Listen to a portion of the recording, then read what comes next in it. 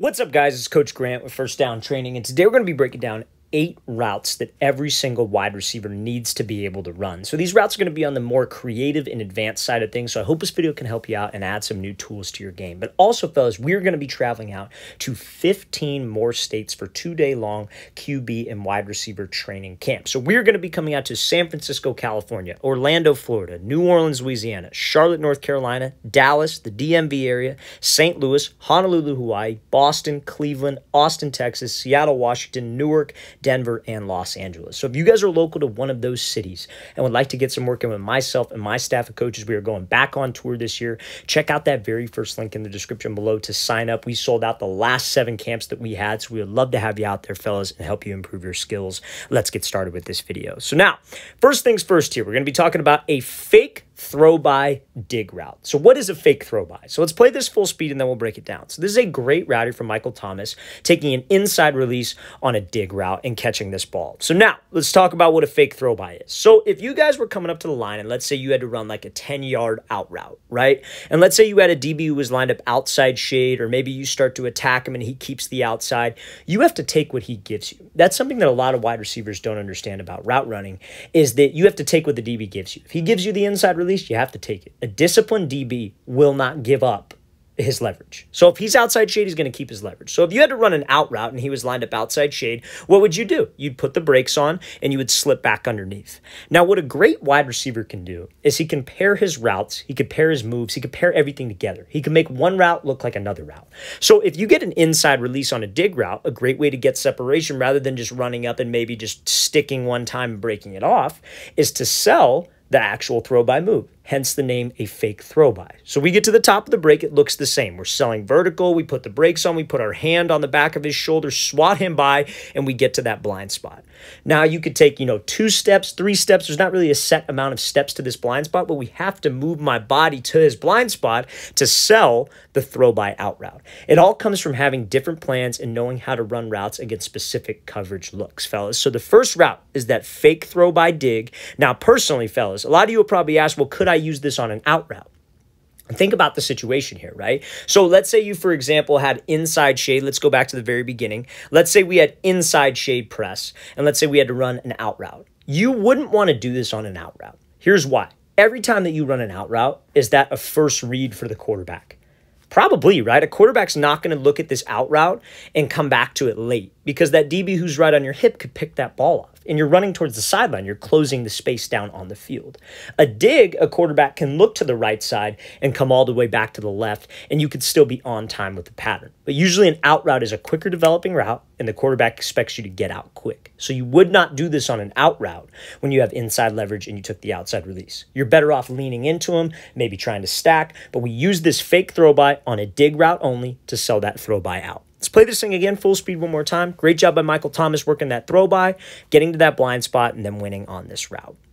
All right, so second example here is going to be a corner route when we have a DB who is sitting right at five yards, maybe like a more physical linebacker type guy. Maybe it's a zone coverage linebacker. How would you run this route? So the mistake that a lot of wide receivers will make, like I said, because before what I said, when a DB has a leverage, like let's say he has inside leverage, you want to take what he gives you, right? So that means you would want to take the outside release. But that does not mean just take off and run. Because anytime that you are running an outside breaking route, like an out route, a corner route, a comeback route, think we can all agree that the QB needs some space to throw us open. So we can't just get squeezed to the sideline. So we have to attack his leverage. So let's play this full speed. So this is a corner against that like catch technique at five yards. This is a great example of this wide receiver closing space with the DB and making him uncomfortable. So when we have a guy who's right here, a physical type linebacker, a lot of smaller wide receivers are afraid of this situation because they're afraid to get rerouted. So what they'll do is they'll go up to this DB. There's two mistakes that guys will make. They'll go up to this guy, they'll attack his leverage, you know, because maybe they heard myself say that or they heard their coach say that, whatever it is. But they will make this crossover move with way too much space between the two guys. They'll make the crossover move like right here at this yard line. So maybe they sell it. Maybe it's a good move like what this wide receiver does, and maybe we get this DB to jump. But at the end of the day, you still got to break this route off at 10 yards. So if you're right here, you got the DB to jump, you still got to get to 10 yards, and guess who has the better angle? The DB, the linebacker, the safety who you didn't close the space with. So, any route, fellas, anytime that you have that five yard off coverage, you have to make sure that you're closing the distance. We have to try to step on his toes, make him uncomfortable. So, when I make him miss, I could restack and get skinny right away. Now, this wide receiver could have done a better job of that. He kind of raises his pad level a little bit, so he takes a wide angle, which can allow this guy to recover if we didn't get him so bad on the move. We want to, when we make this type of move, we want to be hip to hip with him. I want to make this cut, I want to drive, and I want to get directly over the top so he has no space to recover. Okay, so that's the first mistake guys will make is they won't close the distance enough. This receiver does a great job of closing distance, could just be tighter with the restack. Now, the second mistake, like I said, is they will take off and run. So, like I said before, we have to take what the DB gives us. But if he's inside shade, he's there for a reason. He wants to take away the inside, he wants to force everything outside because the sideline is his help. So if you have a route like a corner, you need some space for the QB to either throw it on a line away from a safety or you need some space for the QB to lead you if this guy's going to be trailing you in man. So you cannot just run. Because if this wide receiver would have just taken off and ran to the outside, this guy would have gotten hands and squeezed him all the way to the sideline. So even if he did get the corner route off, there would be no space. So, fellas, one of the routes that you got to know how to run is an outside breaking route against inside leverage about five yards off. You have to make sure we close the space get into his cushion, and make him uncomfortable. Let's play this thing again, full speed one more time. Great job by this wide receiver making that move. That is the second route that you need to learn how to do. We have six more that we are going to cover. So now, this next route is going to be called a peek back comeback route. So a lot of people don't know how to use this peek back move correctly, and that's what we're going to be talking about here. So this is CeeDee Lamb, and he kind of makes this DB look a little bit foolish here. This DB falls. It's a hell of a route. So let's play at full speed. So he comes off, gives a little tempo change, pushes vertical, peeks back, and then you see how that DB goes down because he drops those hips so well. That is solely from the peek back move. So off the line on every single route, fellas, anytime that we're running a comeback, especially a peek back comeback route where you add that peek back move, you have to make sure we're selling what? Selling vertical. On any route that involves that's not a fade, you have to sell the fade. So when he comes off the ball, he does this little tempo change because that skip is probably something he's done before on a fade route. Maybe this DB's guarded him before. Maybe it's been a backside play where it's a run play and your job is just to run the guy off and you've done this tempo change. He's seen it before. So when he sees this tempo change, he's expect you to run full speed and sell the fade. So that's exactly what he does. Selling vertical, getting this DB to bail, comes down to selling with your upper body, running full stride, and running full speed. Those are the main keys that we have to emphasize. So when he's pushing up vertical, now he starts to peek back with his eyes. This is where a lot of wide receivers go wrong because they give the route away. The peek back is something everybody tries to do, but they fail. Because when they start to peek back, they start to lean back. And what happens when you start to lean back? Your stride gets shorter. You start to slow down. And guess what that tells the DB? Hey, a break is coming right? So when you start to when you give that peek back, I, I, call it like it's a glance. You're just glancing over that shoulder because you need to maintain pad level and you need to maintain stride. Because when we break this thing off with this peek back, we need this DB to run full speed. We need him to think, oh shit, I got beat on the fade. I'm trying to recover. And when I can get him to commit and I drop my hips and his eyes are in the backfield looking for the ball, that is a ton of separation that we can get as you can see. So a peek back comeback, fellas. Make sure that we are selling vertical and make sure when I look back to sell the fade even more so, I maintain a good pad level, I maintain a good stride, and I'm running hard. Let's play this thing again, full speed one more time. Great job by CeeDee Lamb, changing up that tempo, getting that DB to open up that gate, and then snapping that thing down to win on this route. All right, so now the next route, that was three routes. We're going to be covering five more, just like how we covered the first three. This next route is going to be a rocker step post route. So, what is a rocker step? A rocker step is essentially rather than just cutting off of one foot at the top of the break, like doing a single like stick, if you will, you do like a double stick. You do like a one two. So if you were running a post route, instead of cutting off of your left foot, you would go right, then left. You'd go one, two. That's how the cut would work. But how you sell this move is what we're going to be focusing on here. So this is Zachariah Branch. He's, I believe, a USC commit. He goes to Bishop Gorman in Vegas. And this is a textbook example of how you guys can use this rocker step. So when he gets over the top, he restacks. DB's trailing his back hip.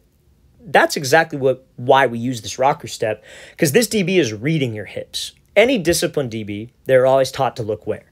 Taught to look at the hips. You're supposed to watch the hips of the wide receiver. The hips are not going to lie to you, right? So when he goes to make this break here and he goes to do this rocker step, we have to focus on throwing my hips into the break. So that's the first part of the rocker step. That's the second part. You see how his hips and his shoulders are committed and he's stepping to the left side. We're trying to make this look like what? A corner route. You see guys like Cooper Kupp, Justin Jefferson, they love doing this move, especially Cooper Kupp. The way Cooper Kupp does it is very impressive. So when he does this move to the inside, look what that does to the DB. He's angled his entire body because that's where he's taught to watch. Everybody thinks watching the hips is going to solve everything, but as a wide receiver, if I can sell with my hips, I can be explosive, I can actually step and make it look like a corner, that can get me plenty of separation. So something that you could do, fellas, like, you know, this is what Cooper Kupp does. He'll run a route and he'll do like a corner route, for example, and he'll start off with a single cut and go. Then he'll do a post route and he'll do a single cut or no, he'll do like a rocker step where he'll go one, two, then break on the post. Then maybe he has to run a 10 yard out and he'll go one, back two, back three, and do triple rocker step. It's just a pop, pop, pop three steps, two steps, one step. You got to have different tools at the top of the route, especially on routes like a corner and a post to sell it and get open. But make sure, fellas, when you do that rocker step, you're taking an explosive first step. That first step is pushing, so you could step wide and your hips and shoulders can sell the corner route. Let's play this thing again, full speed one more time. That is a textbook rocker step corner route here from Zachariah Branch, and that's something that we can all learn from to get a separation and to help us win.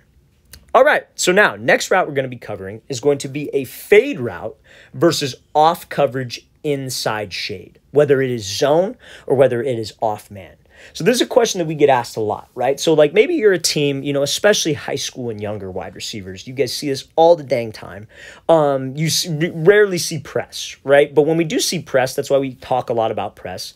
Is you want to be able to beat it, right? That's something that'll stand out to a college coach. That's something that coaches want to see at the next level because you will see a lot of press at that collegiate level. But when you see this type of look, let's say maybe it's cover three, where you got one safety in the middle of the field, he's got the deep third, you got this corner, he's got his deep third, but you think you could win on a fade.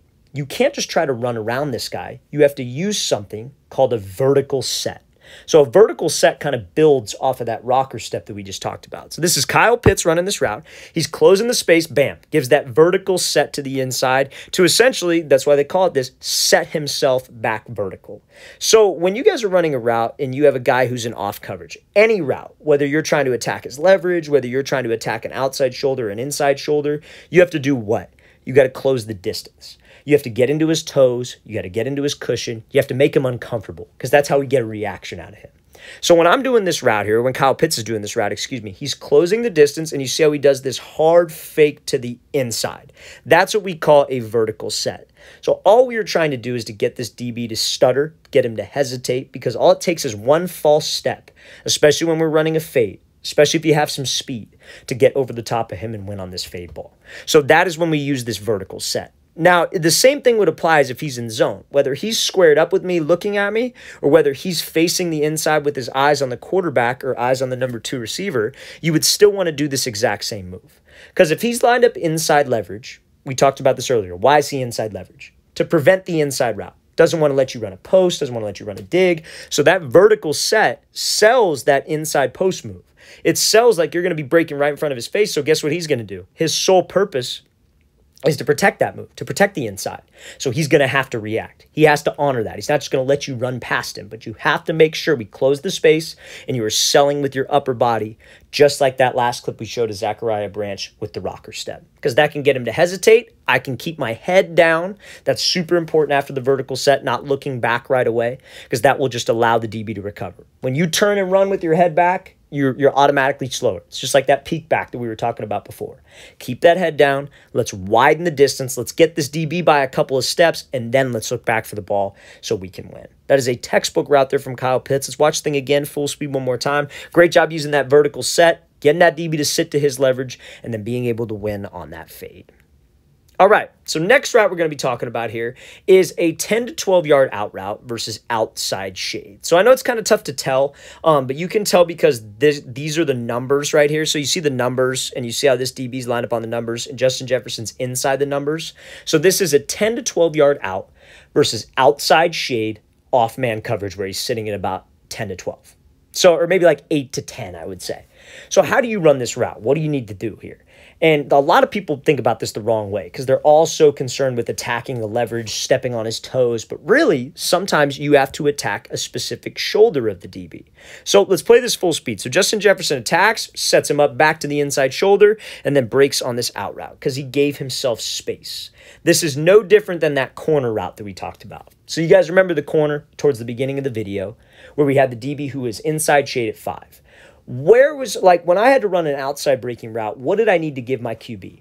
I needed to give him space to throw me open. Whether it was a 10 yard out, whether it was a corner, whether it's a comeback, he needs space to lead me.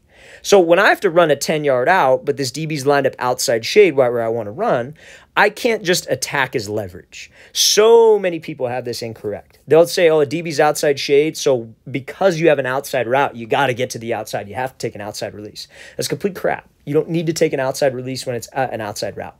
You should be able to run every single route with an outside or an inside release. It's about how the DB plays you, not the given route. So when he's outside shade, if we just attack his leverage, what do you think he's going to do? And you see it from Justin Jefferson because he starts out by attacking his leverage. He's just going to weave and keep his leverage. You attack his leverage, he's going to keep his leverage. His sole purpose being outside shade is to force you inside because he probably has safety help there from a free safety. So to get this separation, I have to threaten him vertically. Because again, because it's off man doesn't mean that it's not man. It's still man coverage, and no man wants to get beat deep. So if I can attack his inside shoulder and actually sell the route, that is what's more likely to get him to open up. That is what's more likely to get me space. Because now when I make this cut, yeah, I could get him to I could get this guy to open up. That's no problem. It's getting out of the break, obviously. But when I attack that inside shoulder, I'm running with a good pad level. We have good stride. We're running full speed. This guy has no choice but to honor that. There comes a point in every single route where a DB has to honor the fade. He has to commit to the fade because he's not just going to let you run right by him. And if he wants to play that guessing game where he's just going to sit on the short stuff and it's not cover two, dude, we're going to take him on a fade at least at one point during the game. And that will start to get him to move. You got to be patient sometimes. So when we attack that inside shoulder, guess what? When I make this break, I could swat him by on the hip or on the shoulder. And now I have space for my QB to lead me. Imagine if we just forced it outside. Imagine if we just attacked his outside shoulder. He would weave, you would end up breaking, and you'd have no space with a DB right over the top on your hip.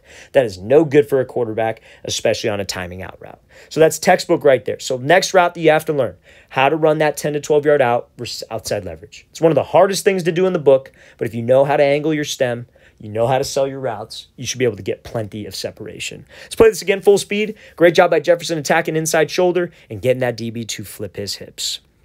All right. So now, next route we're going to be talking about here is a comeback and go route. So this kind of goes for every single double move, I would say. But I feel like a comeback and go is a great thing for everybody to learn because it can build. It can build off of a hitch and go. It can build off of a curl and go, a dig and go, and out and up. Every double move has some principles that you could take away from this specific clip. So let's play at full speed. So this is Antonio Brown. He takes the outside release, breaks on the comeback, gets those hips and shoulders downhill, and then wins on this route.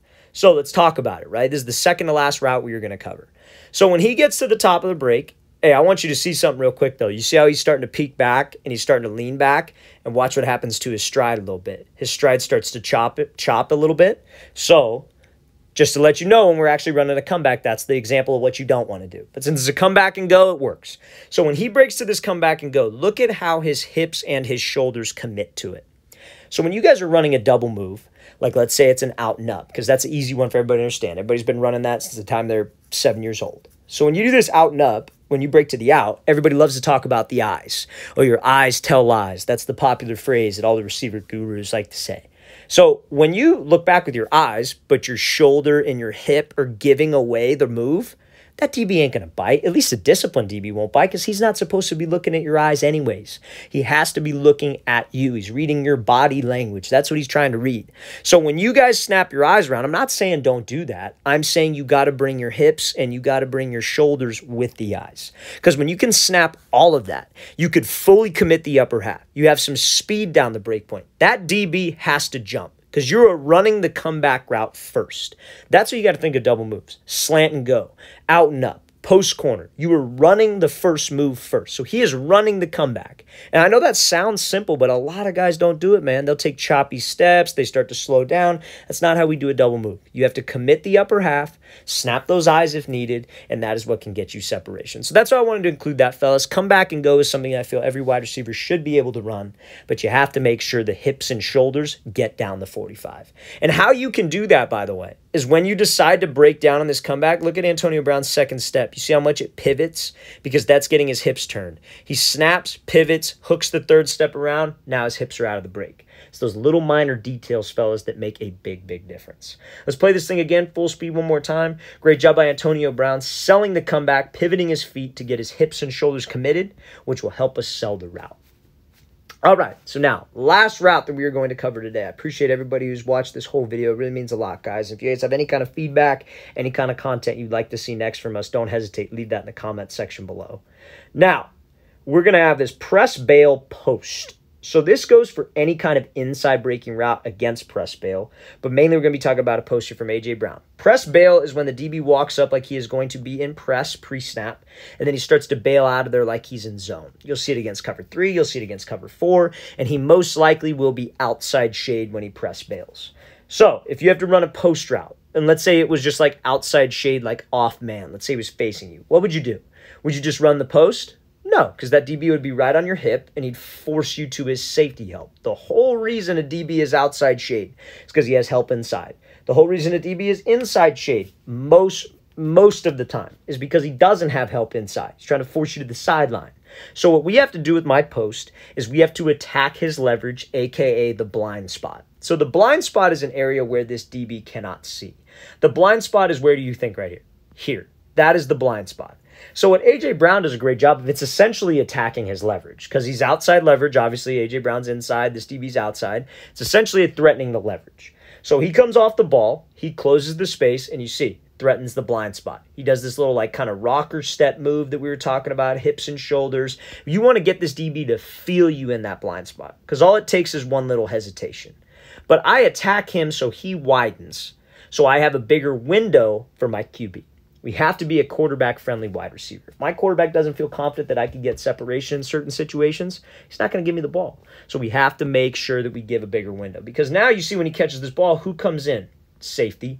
And imagine if we just ran the post. Imagine if we just took what he gave me and just ran. He would be right on that hip pocket and forcing you right to that safety. Now, again, when it's press bail, fellas, there's a lot of different routes we could run. You could run an out route. You could run a 10 yard out. What do you think you would do? Think of the Justin Jefferson clip. Just because it's zone doesn't change the concept of what route I'm going to be running. It's zone, I would attack his inside shoulder. My goal is to get him to flip his hips, think a deep post, think a fade, slip underneath him and run the out route. Same thing on a comeback. My goal could be here. Maybe I close space and then I go blind spot, then I snap it down, or maybe I snap it down at the inside shoulder. But when it's inside breaking, you got to dig, you got to post, you got to curl. Let's threaten that blind spot to threaten his leverage. Let's play this thing again full speed. So that is the eighth route you need to know how to run. It's a post route or an inside breaking route against that press bail coverage. All right, fellas, I really want to thank you for watching. I really appreciate it. If you guys have any questions at all, don't hesitate to leave those in the comment section below. Always appreciate the feedback. It's always great to um it's always great to hear back from you guys and get any kind of feedback from you guys. But also, fellas, if you guys are located in any one of these cities that we are coming out to San Francisco, Orlando, Florida, New Orleans, Charlotte, Dallas, the DMV, St. Louis, Missouri, Honolulu, Hawaii, Boston, Massachusetts, Cleveland, Ohio, Austin, Texas, Seattle, Washington, Newark, New Jersey, Denver, Colorado, and Los Angeles, check out that very first link in the description below, fellas. We'd love to have you out to one of our camps. I'll see you guys next time.